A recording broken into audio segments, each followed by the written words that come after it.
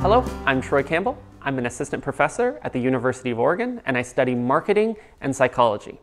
And today I wanted to talk about the demonstrate care first principle. And this is the idea that whenever you're communicating with any audience, whether you are a politician communicating with potential voters, whether you are a teacher communicating with your students, or whether you're a manager communicating with your employees, is that before you get to facts and before you get to the argument, you should demonstrate that you care about the people that you are talking to.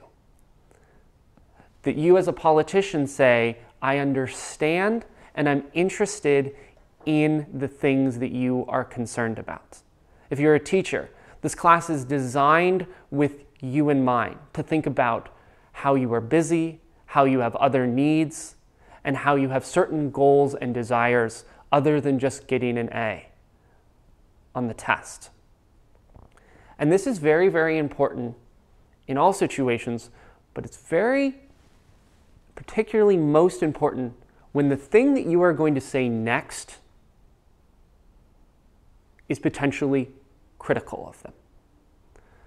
So, unless you establish that you care about the outcomes of your audience first, it's very, very difficult to criticize them in any way.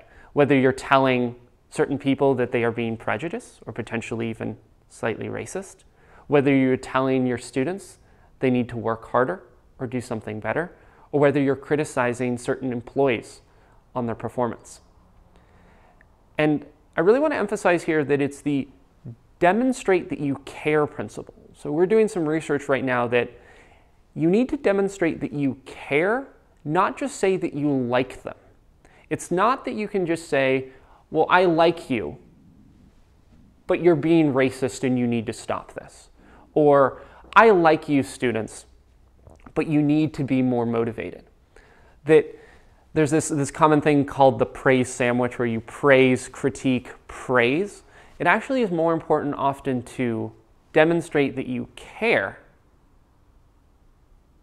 truly about the outcomes and the welfare of that person before you engage in any criticism or ask anything of them.